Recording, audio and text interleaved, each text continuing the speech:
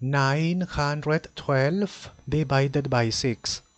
9 is not less, therefore with 9. 6 multiply by which number is nearest to 9 but not greater. 6 multiplied by 2 12 12 is greater. Multiply by 1 6 is not greater. Okay subtract 9 minus 6 3 next 31 6 multiplied by 6 36 is greater. Multiply by 5 30 is not greater. Subtract. Next 12 6 multiplied by 2 12 is not greater.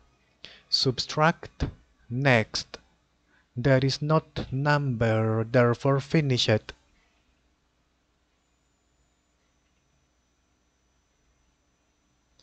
Okay, 0. Therefore, 912 divided by 6 is here.